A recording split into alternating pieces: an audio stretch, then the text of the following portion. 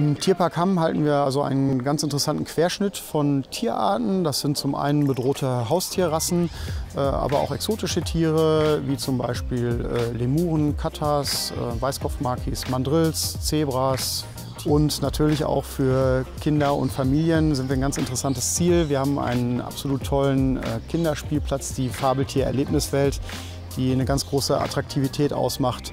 Und äh, unsere Aufgabe ist natürlich neben der Erholung und dem Freizeitwert für die Besucher auch äh, Bildung und Artenschutz. Wir engagieren uns da äh, ganz besonders stark. Ähm, das ist auch unsere Aufgabe.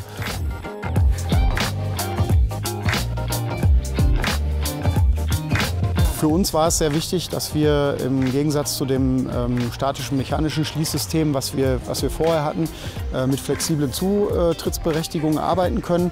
Es geht ja vor allen Dingen auch darum, dass äh, nicht unbedingt der Auszubildende sofort die Tigeranlage schließen soll und ähm, auch zum Beispiel, dass die Kassenangestellten jetzt keine Schließberechtigung für die Tiergehege zum Beispiel haben. Und äh, deswegen war es uns wichtig, dass wir da ein flexibles System haben und das wird, ähm, dem wird damit auch vollumfänglich entsprochen.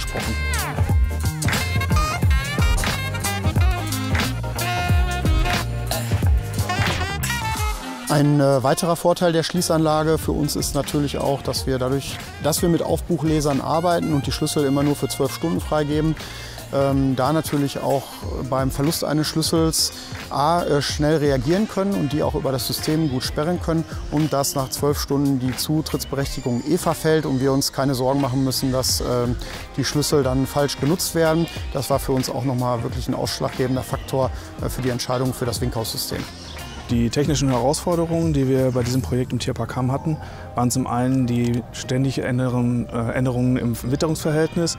Das heißt, wir haben sehr viel feuchte Bereiche, auch zum Beispiel wie im Lemurenhaus, wo der Zylinder dann regelmäßig außen der Trockenheit ausgesetzt ist, eben im Haus aber dann doch der Feuchtigkeit.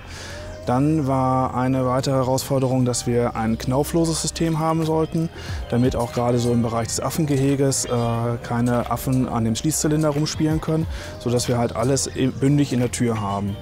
Und zusätzlicher Ausschlagpunkt für Winkhaus war auch, dass wir eigentlich alles, was wir mit einer Mechanik abdecken konnten, auch mit der Elektronik abdecken konnten.